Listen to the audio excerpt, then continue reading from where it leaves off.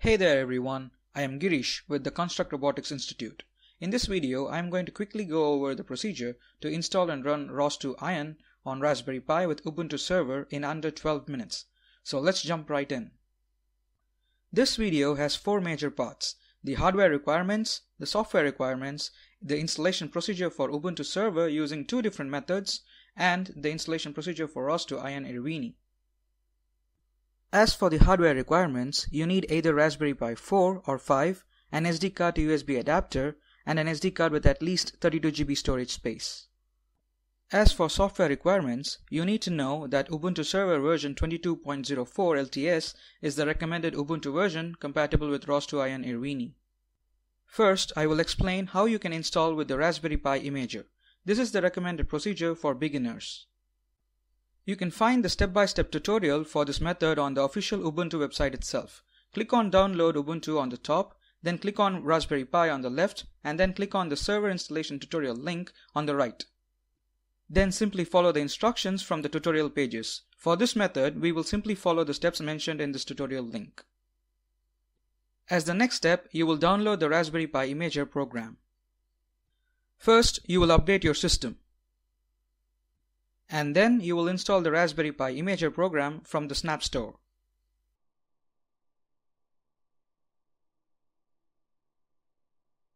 Once the installation is complete, you should be able to launch the program from the Applications menu.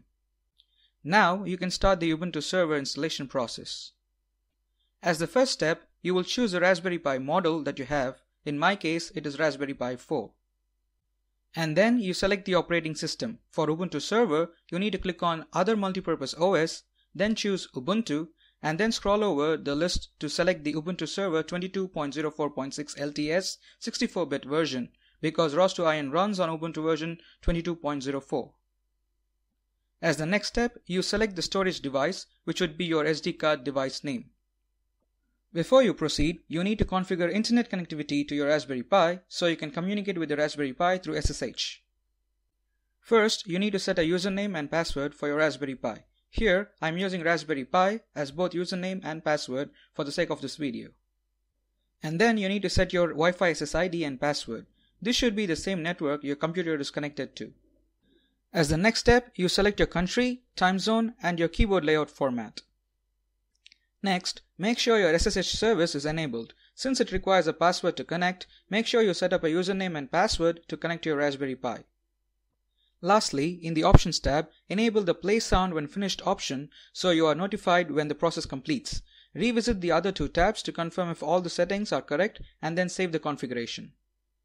Once saved, select Yes for the next two steps to start the imaging process. It will ask you for your authentication, so provide your system password to start the imaging process. The imaging process takes about 21 minutes to complete, so get a beverage or take a short break. Once the imaging process is complete, transfer the SD card into your Raspberry Pi and then boot up your Raspberry Pi. Wait for 2 to 3 minutes before trying to connect using SSH. You need a network scanner application like Fing that I have shown here to identify the IP address of the Raspberry Pi on your local network. Perform a local network scan to find the IP address of your Raspberry Pi. Once you know the IP address of your Raspberry Pi, you can establish a connection using SSH, using the username and password that you set during the imaging process. Now I will show you another method on how to install Ubuntu Server with an image file using the Disk Image Writer program. First, you need to download the image file, so open the browser and search for Old Releases Ubuntu on your search engine and select the link that takes you to the index of Ubuntu releases. Once you are on the web page, click on Jammy Jellyfish, the version name for Ubuntu 22.04. The release packages are listed chronologically in ascending order of release. Scroll to the bottom to find the most recent release of Ubuntu Server 22.04 for Raspberry Pi 64-bit version. You can find both desktop version as well as the server version, so make sure you download the proper image. It should be named as Ubuntu Server ARM 64 Raspi you need to download the file with the img.xz extension, which is about 1 GB in size. Start downloading that file. And wait for the download to finish. Make sure your file has downloaded properly by verifying the file name and its size. Now, go to the downloaded location and right click on the file. Select Open with Disk Image Writer. Then select your SD card drive as the destination and then start restoring. it should prompt you for your system password. Once you authenticate, the imaging will start immediately.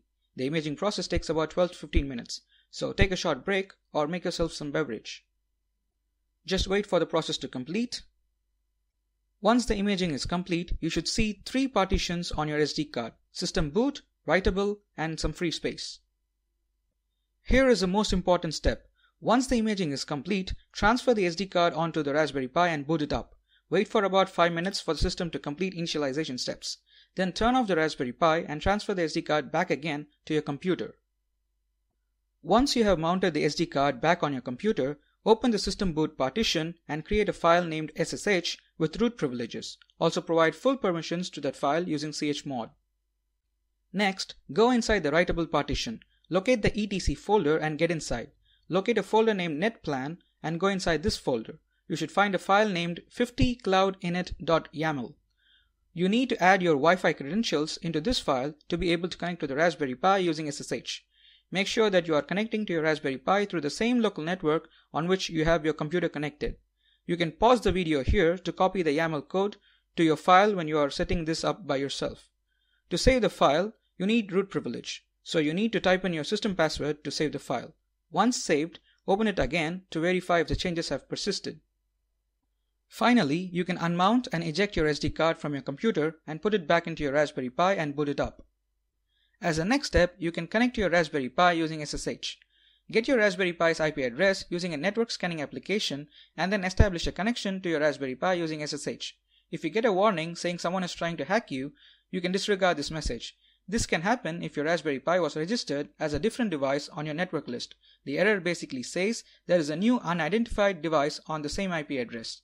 Just copy and paste the suggested command in your terminal to fix the issue. You can then make an SSH connection to your Raspberry Pi in the usual way. When you connect for the first time, the username and password are both lowercase Ubuntu. You will be prompted to change your password after your first login, so type in a new password and save it. You will get disconnected immediately. Connect to the Raspberry Pi again using the same SSH command, but now with your new password. In my case, I have set it to Raspberry Pi. You can set it to whatever you like. Once connected, you can explore around on the Raspberry Pi. As the last part of this video, you will see how to install ROS2IN Irwini on the Ubuntu server that you just installed. Open your browser and load the ROS2 Iron installation guide webpage. As indicated earlier, you should have Ubuntu 22.04 installed on your system onto which you will install ROS2 Iron. In this case, Ubuntu server running on a Raspberry Pi. The installation will be done using deb packages, which is the recommended method. Before you install, make sure you have set up two things the ROS2 Iron installation website, and a terminal with an active SSH connection to your Raspberry Pi. Before actually installing the ROS2 Iron framework, you need to configure your system and install some prerequisite packages. Just follow through this part of the video and replicate the same processes onto your Raspberry Pi setup. As the next step, you will install ROS2IN Irwini. You have two options to choose from, the desktop version and the barebones version. The desktop version comes with GUI applications, whereas the barebones version comes without any GUI applications. For our purpose, we will install the barebones version, since we have installed the Ubuntu server version and not the desktop version. Just copy and paste the commands to install the barebones version of ROS2IN Irwini. The installation process takes about 5 minutes. Now the main installation of ROS2 Iron is complete. You may install RMW implementation if required, but I will not be showing this step in this video. Now it is time to test your ROS2 Iron installation. Simply start by sourcing your ROS2 installation and issuing a simple ROS2 command, ROS2 topic list. You should immediately see parameter events and ROSOut listed as ROS2 topics. This confirms that ROS2 has been installed successfully on your Raspberry Pi system. You can also check if you have a directory called iron located inside your slash etc slash ROS directory. You may choose to install ROS1 bridge if you need. If you choose to uninstall ROS2 Iron in the future, simply follow the instructions at the bottom of this web page. Alright, we are now done with the ROS2 Iron installation. One last thing, make sure to check out our website, theconstruct.ai. We have a lot of courses on robotics and ROS that will help you get into a robotics career. We also have a special robotics masterclass program that you can join to learn everything about ROS and robotics to land a job as robotics engineer in just under 12 months. Just visit roboticsdeveloper.ai to know more. Alright everyone, That is all for this video. Hope you all enjoyed. Don't forget to check our website. Thanks for watching. Bye.